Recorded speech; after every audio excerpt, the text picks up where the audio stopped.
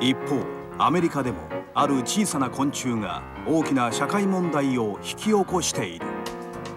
それはほら動いてるだろ？ボトルの中に詰まっているのは主にベッドに潜むトコジラミ。人によってはかゆみを伴って強くかいてしまうのでそこからばい菌が入る恐れがあるアメリカではここ数年シカゴやニューヨークなどの大都市でトコジラミが爆発的に繁殖しているという今年の夏特に被害が多いニューヨーク市はトコジラミとの戦いを宣言したほどだトコジラミの被害に遭ったという家族は Where did you get bit? Where did you get bit? ここだよどこにいてもトコジラミのことを考えてしまうわ。地下鉄でもタクシーでも映画館でも。トコジラミ被害が続出する中害虫駆除会社には駆除の依頼が殺到している。今じゃ依頼の90%がトコジラミだよ。異常発生だよ。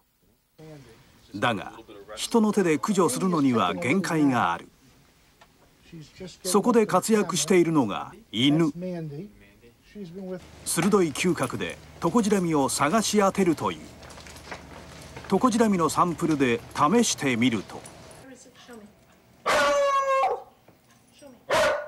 ここから出てくる匂いに反応してこのマックス君、えー激しく吠えました。この場所だけで吠えたと、えーいうことで、えー見事ですねこのトコジラミの匂いを嗅い当てたということになります。実はトコジラミの被害は日本でも急増している。東京都福祉保健局の調査によるとトコジラミに刺されたとの相談件数は10年前は14件去年は165件とおよそ12倍に跳ね上がっている。なぜトコジラミの相談件数が急増したのか。専門家はトコジラミの多いアジアや中東地域への旅行者が増え